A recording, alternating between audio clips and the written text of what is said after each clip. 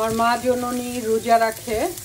তো ইফতারিতে আজকে আমার জন্য খুবই নুডলস রান্না করছে। রামের নুডলসটা আবার আম্মা পছন্দ করে।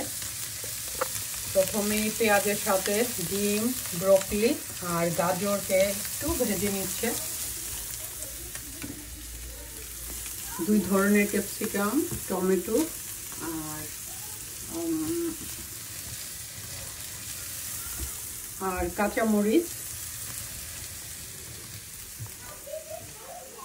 আমার জন্য ঝটপট তাড়াতাড়ি।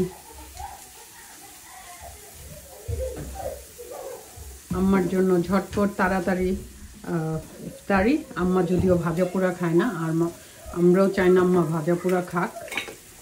হেলদি খাবার একটু খেলে ভালো। এর জন্য নুডলসটা আম্মাও লাইক করে। খুবই খুব মজা করে আম্মা নুডলস তৈরি করছে। খুবই মজাদার নুডলসও রেডি